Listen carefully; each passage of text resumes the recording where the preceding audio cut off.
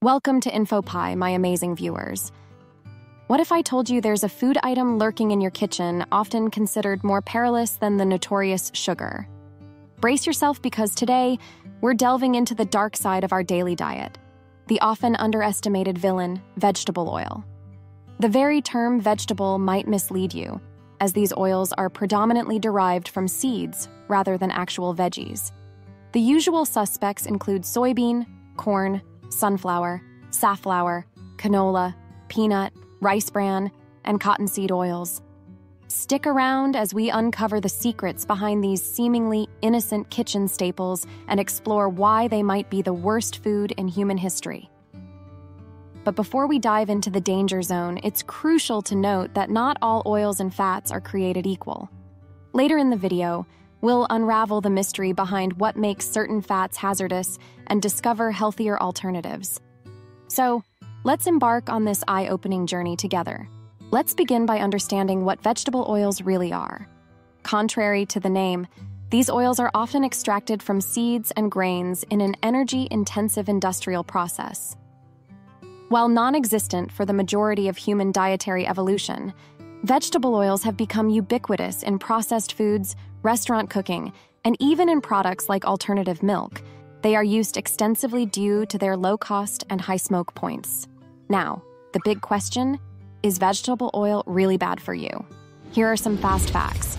Rates of chronic inflammatory diseases have increased by a staggering 700% since 1935, with 6 in 10 Americans suffering from chronic inflammatory diseases today. Vegetable oil, accounting for 20% of our daily calories, has played a significant role in this surge.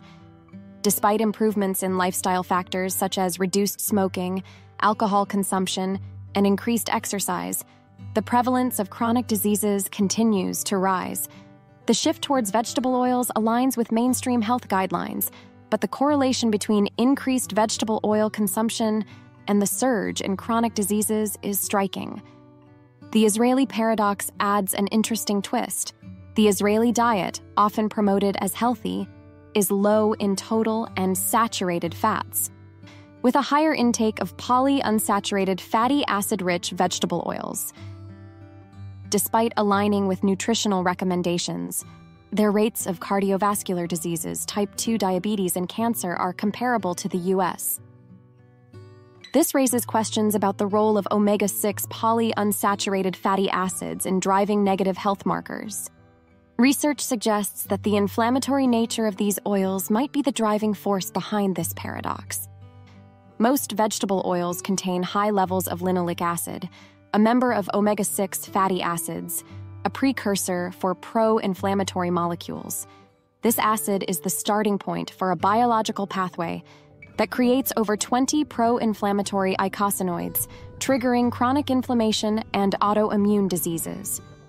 Without a counterbalance from omega 3 fatty acids, these effects can lead to various health issues.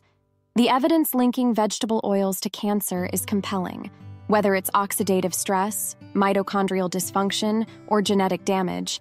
The mechanisms through which these oils contribute to cancer growth are multifaceted. In a 2009 study, mice fed linoleic fatty acids demonstrated metastasis, spread of cancer, four times higher than those fed healthier fats. Combining data from different studies, it suggested that deep fried vegetable oil may cause 1,600% greater cancer growth than healthy saturated fats from animal sources. Vegetable oil consumption emerged as a significant predictor of death, surpassing the risks associated with sedentary lifestyles and even heavy drinking. In a major 2013 study, the group consuming vegetable oil had a 62% greater all cause mortality rate over seven years. Surprisingly, vegetable oil was shown to be more deadly than a sedentary lifestyle and heavy drinking. Every 5% increase in calories from vegetable oils is equivalent to the risk of smoking seven cigarettes a day. It raises critical questions about the long term consequences of our dietary choices.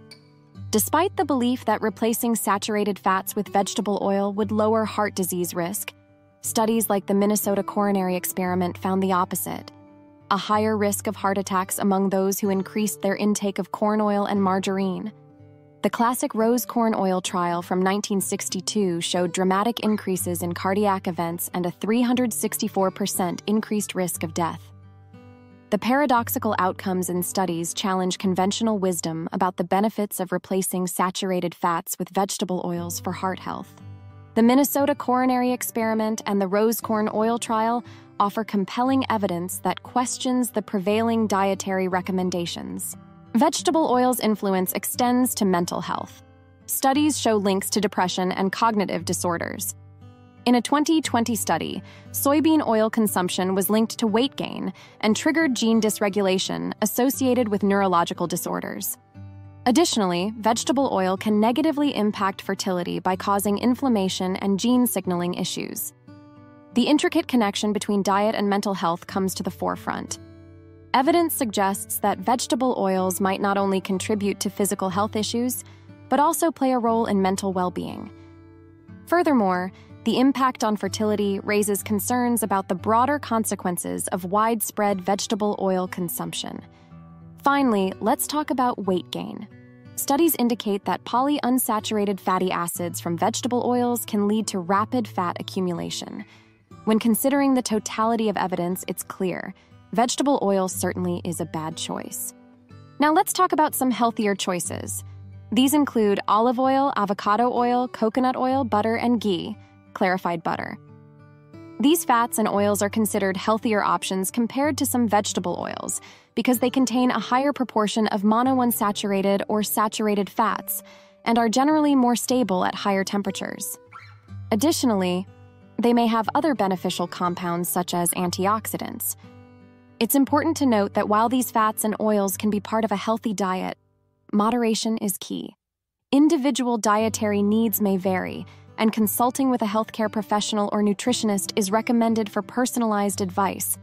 It's crucial to make informed choices about what you consume. If you found this video valuable, give it a thumbs up and don't forget to subscribe for more eye opening content.